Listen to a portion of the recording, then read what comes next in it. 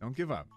What Dysphoria Feels Like, a guide by Trans Diaries. Gender dysphoria is something a lot of trans people have, but people who don't have it can find it hard to understand. To understand it, let's use the example of hands. We all have a hand that we're comfortable with. Let's assume you prefer to use your left hand. This means you are probably bad at using your right hand.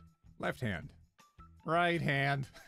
if I am forced to draw with a hand I am not comfortable with, I get annoyed and generally perform worse. In the past, people who are left-handed were forced to write with their right hands because being left-handed is wrong and unnatural. This made a lot of left-handed children develop dyslexia, speech disorders, and learning disorders. You can imagine gender dysphoria is being forced to write with the opposite hand of the one you usually write with. You are being forced to write with a hand you are not comfortable with, being seen as the wrong gender, and want to write with a hand you are comfortable with, wanting to be seen as your real gender.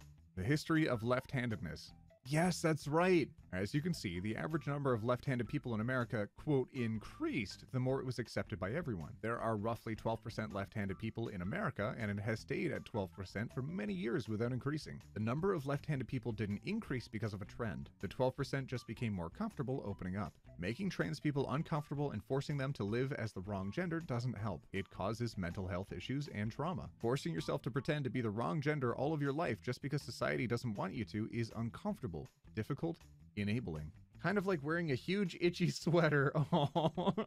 Oh. Some people can use their left hands, right hands, a combination, or both equally. There is no right way to use your hands, and there is no one way you can tell someone to live their life or express themselves. Gender is a spectrum, and it is a life-changing one. So respect us, okay? Oh.